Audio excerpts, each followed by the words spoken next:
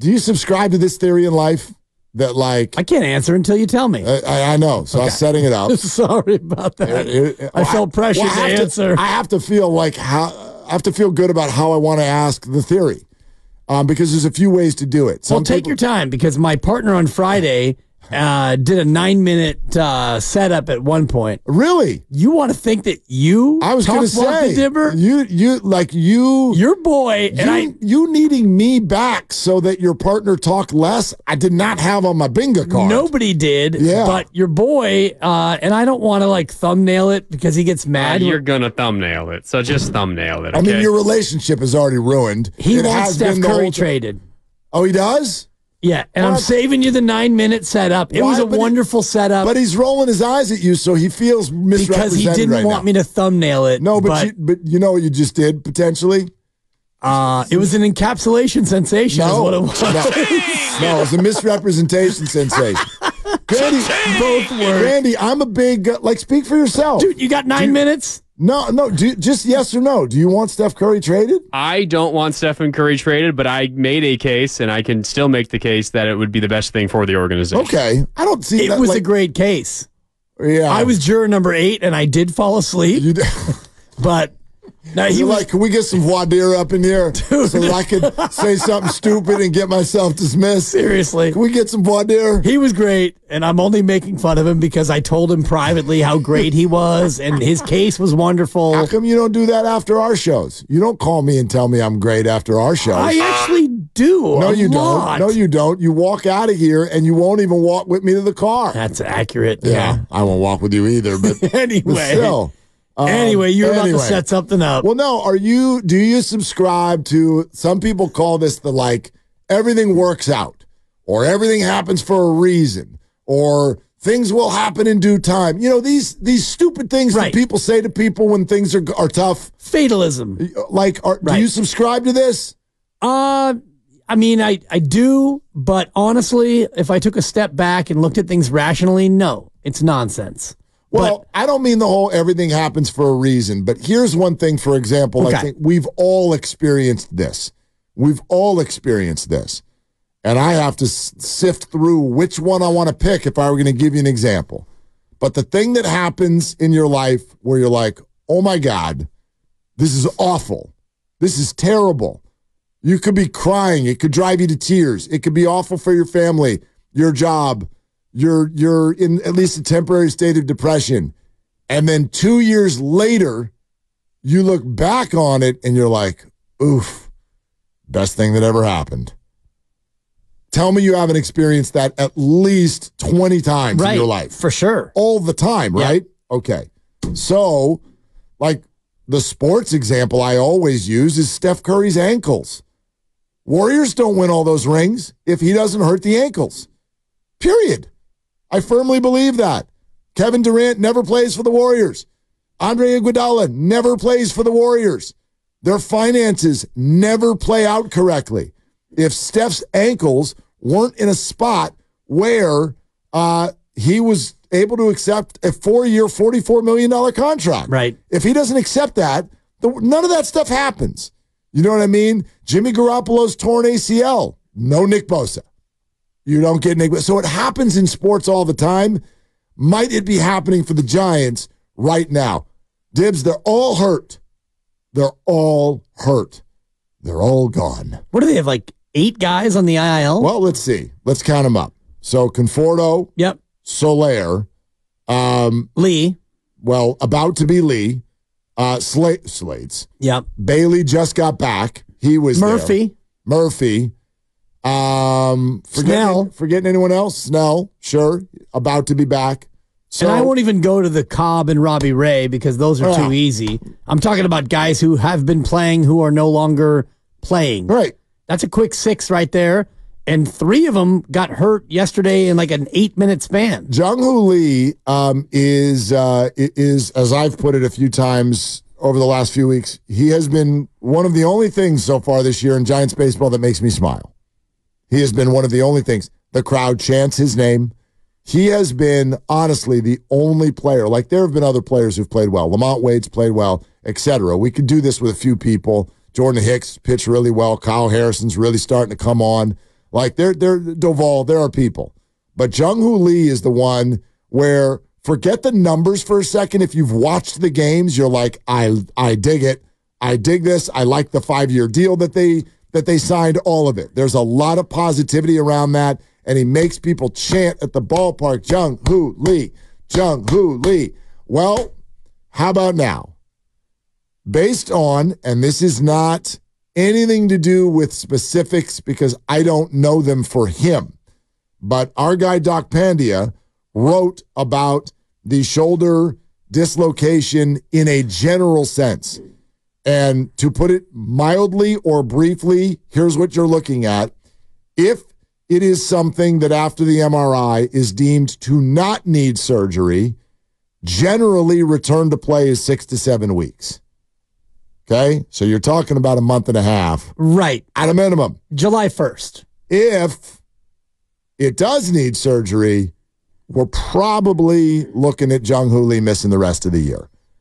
This is an unbelievable kick in the shins to the Giants' popularity, watchability in the standings. This is absolutely devastating news. But what's it going to lead to? Next year, what's it going to lead to? What is it? What avenue does it create for these River Cats that you want to see? What what happens? What happens because of this? Is Heliot Ramos an everyday outfielder? Do we find that out because of this? Um, is Luis Matos an everyday outfielder? Right. Do we find that out because of this? Or are they not? Or I mean, not? that to me is as important as, I mean, obviously you want them to be, yes, you're it, you're the guy, and now you're going to be on the team next year. But to have that knowledge absolutely is important and it's powerful. And I looked at the injury and I've looked at the video time and time and time again, and I can't imagine, and the MRI will determine more than my eyeballs can. But to me, that one looks like he's going to need surgery. And if he doesn't, then good on you. You're a young man, and hopefully it's not a torn labrum, which is what I had. And, you know, when I tore my labrum and my shoulder, it had a recurrence of injury about 14 more times. And at the, at the 14th time, when it wouldn't go back in the socket, then I had surgery. So if he's in a spot where the labrum's torn, maybe you just shut it down now. I'm not saying you give up on the year, but a shoulder injury like that, and that one looked wow, so dramatic. Yeah, it was not It good. looked terrible. Yep, yep. And immediately he goes to the ground and he, and he holds it. I'm just hopeful that it's not totally torn and that, you know, six or seven weeks and you quiet that down, he can come back and play. But that's July 1. That's still missing like a good third of the year. Yeah. I mean, more than half the lineup is out. Right. So, I mean, that does. It changes whatever expectation or even hope that um, that that you had, and it didn't it didn't feel like a lot of the fan base was running on expectations and hope right now. Anyway, Right. You're 19 and 23. The Dodgers have come to town. I I can't remember, and this I'm even going to put this into last year and the year before. I can't remember in my adult life the last time the Dodgers came to town and the morale leading into the series felt like this. Literally, the majority of fans that I talk to, their goal for the next three nights is get one. Forget nothing like it. There's your new motto Giants baseball, get one. And I don't even know if people are hoping for that. It's almost like, come on, man, you got the, the River Cats against the Dodgers. Right. What what are our chances? Yamamoto, are we even going to get a hit tonight? But it's baseball, and you just don't you don't know what's gonna what's gonna come out of this. Right. This is a dark cloud right now. Super This is dark. a really really dark cloud. And it's weird because so many fans have wanted uh, and clamored for the young guys, and now you get the young guys, and you get them in a way that you didn't think that you were going to get it, and you didn't want to get it this way with Soler out and Slater out, and Jung Hoo Lee gets hurt yesterday. But if you look at the lineup tonight, you or even throughout the course of the series, you might have five or six River Cats in the lineup.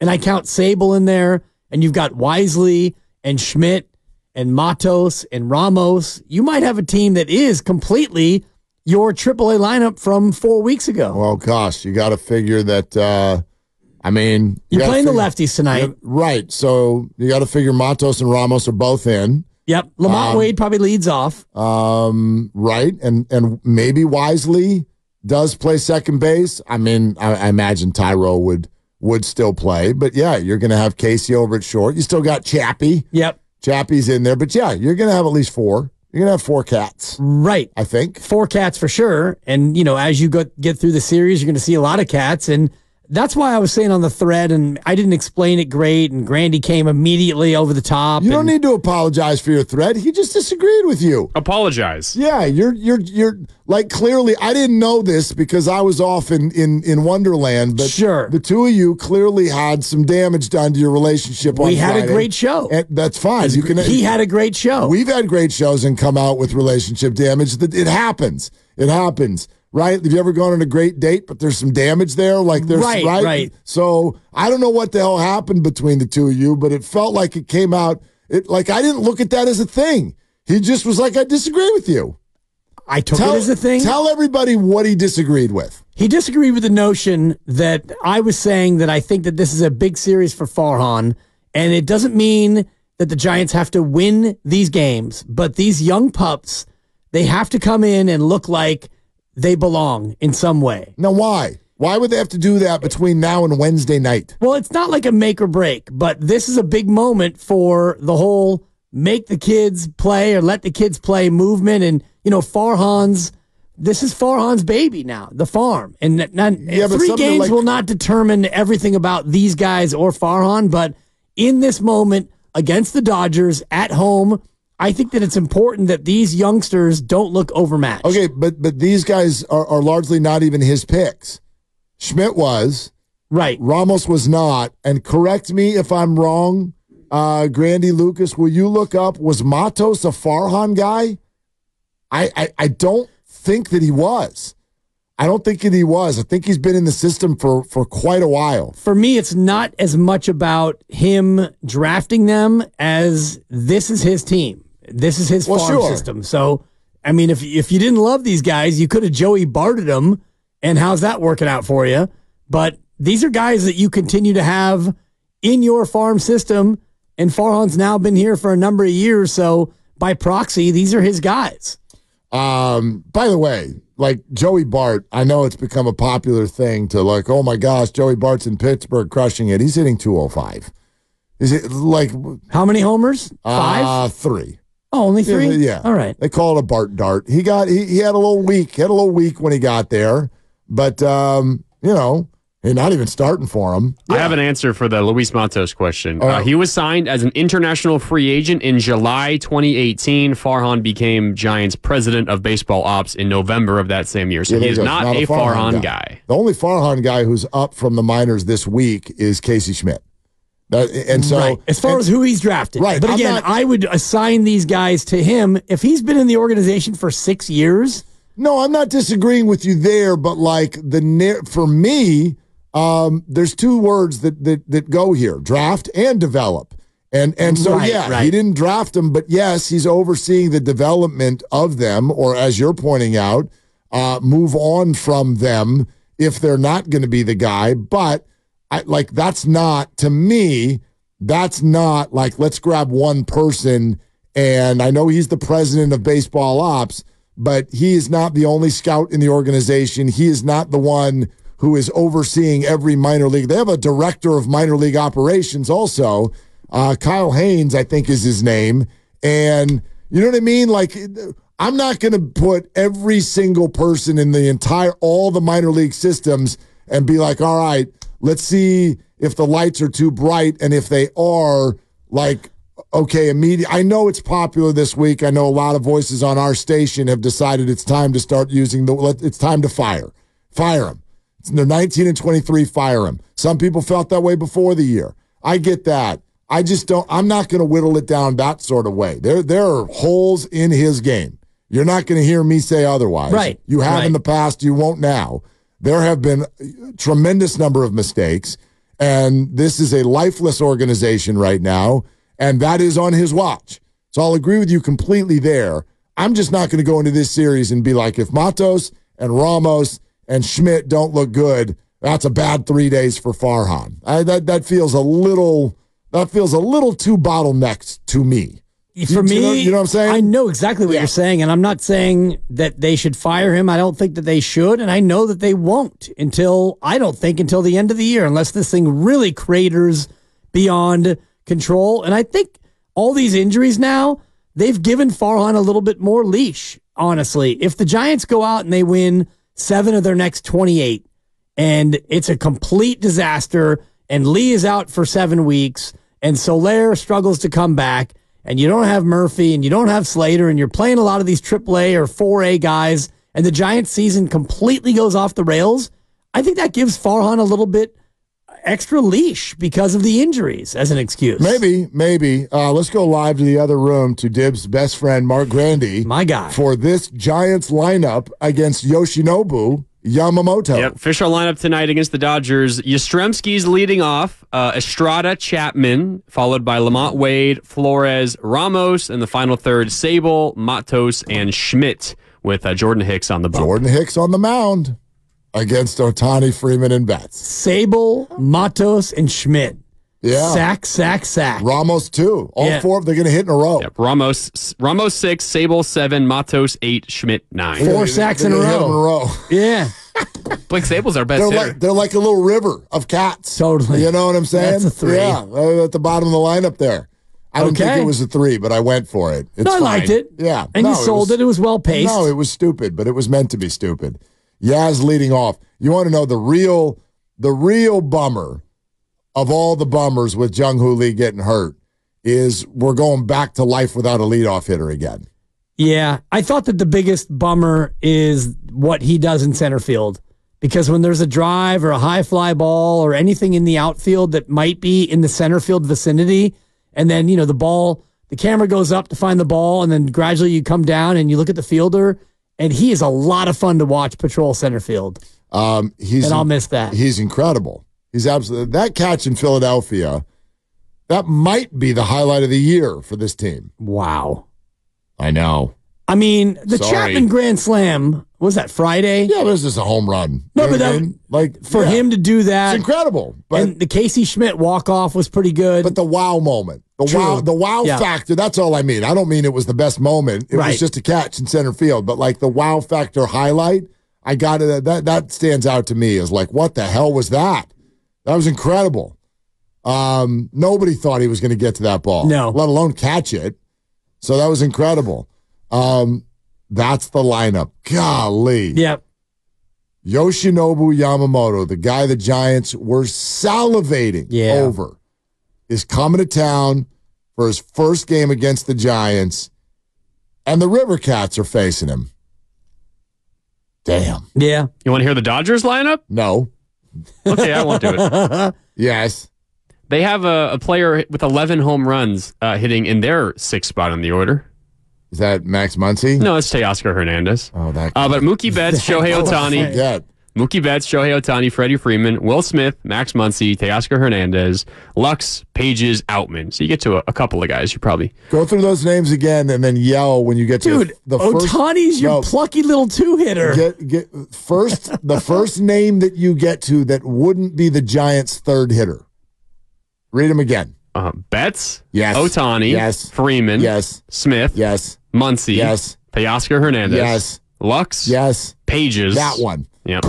The eighth hitter. Pajes. Sorry, Granny. Just call him Pajes. Pages. Whatever. I don't even know who I don't he know is. who he is either. Yeah. Rookie. Look at Lucas correcting Grandy. Probably- League best Luke. it's probably- Baseball too, you know. He's probably going to put one in the drink tonight, Yeah. and I'm going to go Man. get it out of the ocean. Shoot. I'm not enjoying this at all. I don't like like the Dodgers are in town. The Dodgers are in town. Right. You're supposed to feel the the fever of the rivalry, but what you said about everything you've heard from Giants fans, and I kind of have the same feeling about the just get one. Are there going to be just get one chance tonight? Instead Just of, get Instead one. of Jung Hoo Lee. Right. Just Don't get, get swept. dude. Don't get swept. Oh my god. Don't get swept. Are they going to be drowned out by the uh, by the chance of actual Dodgers fans? Mm. That's actually my thing. It's with- a great question. Yeah, thanks, Doc. I, I How soon until we get the first wave tonight? Oh God. At and we talked about this last week, and you don't like it, but Would it be inappropriate? Whoa! Is it inappropriate for me to green light mild violence? yes, It is, right? Yes. Okay, then I won't. I can do that. Okay. It's in my lane. All right, so it's, what- It's wildly outside Right. of your lane. I'm not a violent guy. no, Wh- But And like you're gonna mildly green light violence. what should Giants fans do if they're sitting next to Dodgers fans who try to start the wave? Politely ask them to not do that. That's excuse me, sir. You're blocking my son's view. We're looking for Lucille. We're- gotta hit it. Of course you hit gotta that hit it. S again. We're presented by Fremont Bank.